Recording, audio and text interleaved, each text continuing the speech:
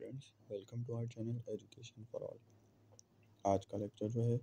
वो है class nine biology का chapter number two solving a biological problem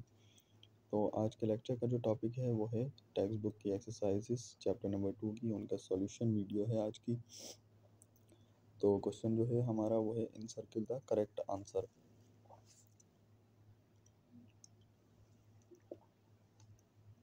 तो हम स्टार्ट करेंगे एमसीक्यू नंबर वन से. तो एमसीक्यू नंबर वन है, वो है select the correct sequence of biological method option A है law theory reasoning hypothesis option B है हाइपोथेसिस थ्योरी लॉ रीजनिंग और ऑप्शन सी है हाइपोथेसिस रीजनिंग थ्योरी लॉ और ऑप्शन डी है लॉ हाइपोथेसिस रीजनिंग और थ्योरी तो option C जो है वो करेक्ट है हमारे पास. यानी कि hypothesis then reasoning then theory then law अब सेकंड एमसीक्यू जो है वो है select the odd one option A है थ्योरी, ऑप्शन बी है लॉ, ऑप्शन सी है हाइपोथेसिस ऑप्शन डी है रेशो तो इसका करेक्ट आंसर है हमारे पास ऑप्शन डी यानी कि रेशो अब एमसीक्यू नंबर थ्री जो है, वो है field of research that examines mathematical representations of biological system called dash option A ratio option B mathematical biology option C proportion option D law तो इसका correct answer है हमारे पास ऑप्शन बी मैथमेटिकल बायोलॉजी अब M C Q number four जो है, वो है biological method involves all of the following except option A data option B observation option C experiment option D proportion तो इसका करेक्ट आंसर जो है हमारे पास, वो है ऑप्शन डी प्रोपोर्शन अब हम देखेंगे M C Q number five M C Q number five है scientific reasoning moves from specific to general is dash option A inductive option B deductive option C observation option D both A and B यानी कि both inductive and deductive तो इसका correct answer है inductive यानी कि option A अब M C Q number six जो है, वो है quantitative observation is the use of dash A equipment A senses B equipment C gas and D ratio तो इसका करेक्ट ऑप्शन जो है हमारे पास वो है option number B equipment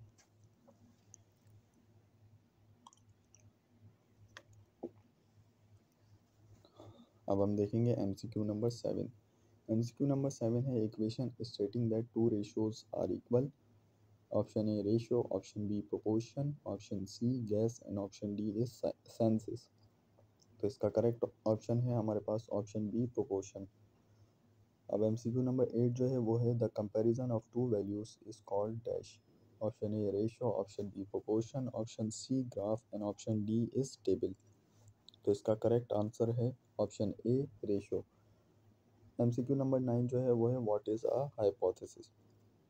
Option A, the same thing as an unproven theory. Option B, a tentative explanation that can be tested and is falsified. Option C, a verifiable observation. And option D, a fact based on quantitative data that is falsified.